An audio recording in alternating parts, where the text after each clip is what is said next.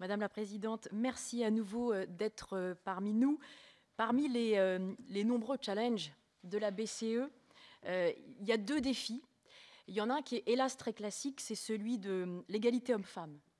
Favoriser l'égalité homme-femme, en particulier dans, les nominations, dans le cadre des nominations des exécutifs des organismes financiers, monétaires, économiques, pour éviter de revoir à nouveau cette photo il y a euh, quelques jours, où euh, notamment euh, vous étiez seule femme au Conseil des gouverneurs.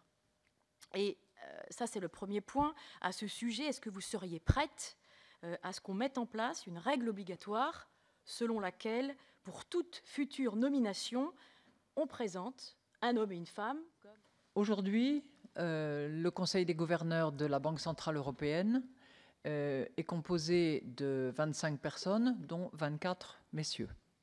Et j'ai beaucoup d'affection pour eux et beaucoup de sympathie pour les hommes en général, mais ça n'est pas une représentation normale de nos sociétés. Et il me paraît indispensable que cette situation puisse évoluer de manière positive pour mieux refléter euh, la société dans laquelle nous vivons. Alors malheureusement, euh, il y a un certain nombre d'éléments qui ne dépendent pas de moi, qui ne dépendent pas de la BCE, puisque vous savez que dans les 25, il y a 19 gouverneurs euh, des banques centrales du système qu'on appelle l'eurosystème, et qui sont tous, euh, je le dis avec beaucoup de respect et d'amitié pour eux, qui sont tous des messieurs. Donc ça, ça n'est pas dans mon pouvoir.